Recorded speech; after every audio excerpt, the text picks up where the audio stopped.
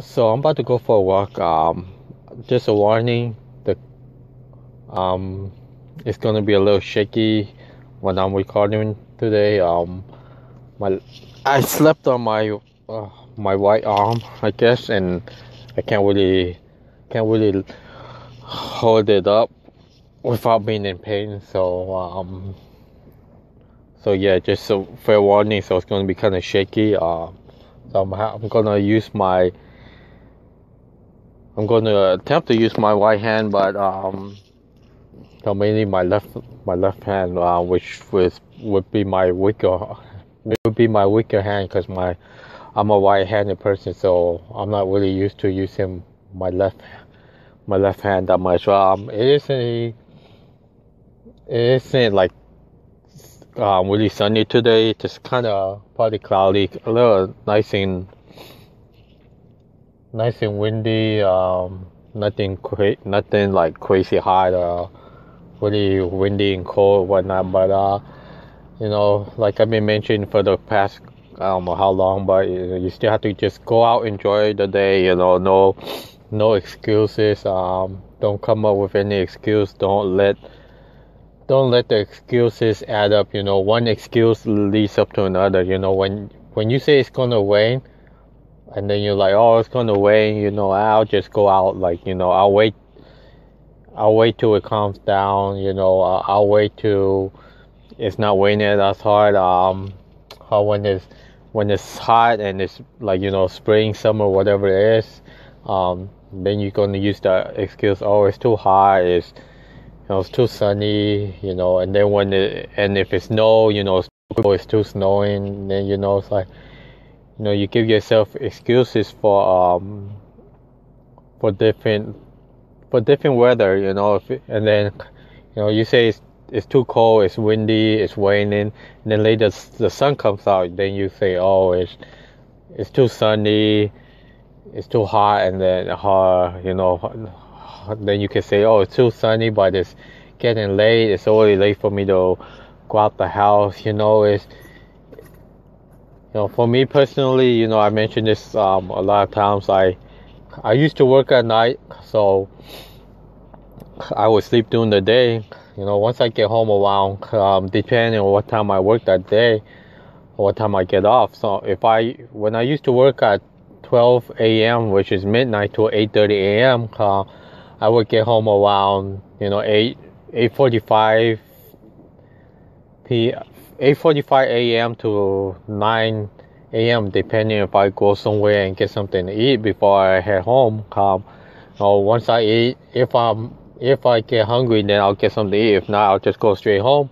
I'll sit down, relax for a little bit, and fall right asleep. You know, and then I'll wake up, wake up a couple hours later, two, three, four hours later. You know, um, and then when I used to work during the day, um, know, like 8 to 4.30, 8 a.m. to 4.30 p.m. or 10 a.m. to 6.30 a.m. I would get hit with traffic going to work, coming back home from traffic. But, you know, I I didn't like get stuck in traffic. No one likes getting in traffic, but, you know, I, but you need to, but I needed to work for money, you know, so I didn't allow myself to use any excuse. Um, so, when we start having more work uh, work, and then um, I asked my manager if I can come into work at night, work alone to get more work done, and he said, "Yeah, that's a good idea." So, you know, sure it sucks. Uh, I wasn't able to do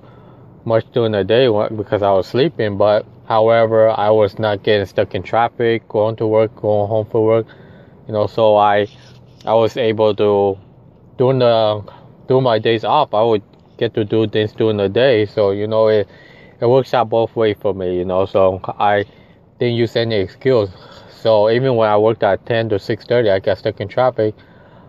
You know, I I didn't use any excuse because I had money to buy things I needed. You know, um, now that I'm not working and I'm like you know stuck at home because of this disorder. Um, and I would what was my excuse my excuse not to go to work my excuse was I'm a, I'm scared to leave the house I'm scared if this and that you know and I got after a while you get tired of using um, any excuses. Once you come up with an excuse, and you know you say things like, "Oh, uh, I'll try tomorrow. Uh, I can't get the mail today because there's no mail, so I'll try to expose myself to get the mail tomorrow." You don't have to actually go outside and get the mail. You know, you can just go outside and look and just sit there. You know, just between this mail. You know, even though you're in your in your head, you know the mailman already came someone already got the mail. Uh, get the mail and come back in. You know, just go and look. Just in your mind, just go out and open the door. You know, I'm. I know it's not easy because I was there. You know, before I was like, you know, I, my parents, my family were like, you used to like going out. Now, what stopped you? You know, the only thing that's stopping me is me you know after after a while you know you you have to look at yourself and say the only person that's stopping me is me you know your mind is what's is scaring you you know no one is telling you to be scared no everyone's like telling you don't be scared you know the people that tell you that no you can't do it are the people that you should stay away from because they're the one that are they're the one that are feeding you more negative more negativity, but at the same time, um, they might also be motivating you, you know, trying to push you so far that you'll get mad and you'll like say, oh yeah, watch me leave. So, you know, it just depends. Some people are like trying to make you so mad that you you have enough of it. You're just gonna go out. You know, it's like it's like uh, bullies. You know, you they bully you so much you get mad and you and you push back and they'll one day they'll start leaving you alone because you're pushing back. You're bullying the bully. You know, anxiety is like a bully. You you push back. Um, one day it leaves you alone because it knows that you had enough. You're not scared of it. So, you know, it's like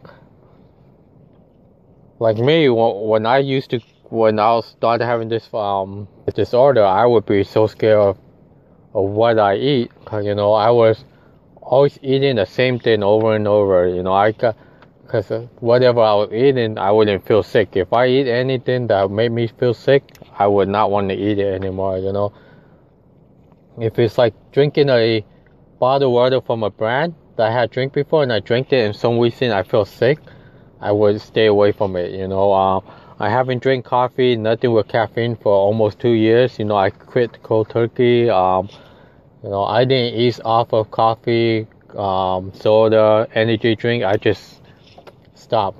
You know, once I heard that that I might uh, increase your anxiety, you know, I just stopped. Anything that people say that might increase my anxiety, I just stop cold turkey. You know, um, if I ate something gave me anxiety, I quit. If I was watching TV, um, a TV show that made me feel panicky, I stopped watching that show. You know, now I now I'm watching it like you know I I like watching football. Um, you know, back in 2016 preseason football, I was watching. The game hasn't even started. They were just talking, you know, uh, and then out of nowhere, I had a panic attack. But in my mind,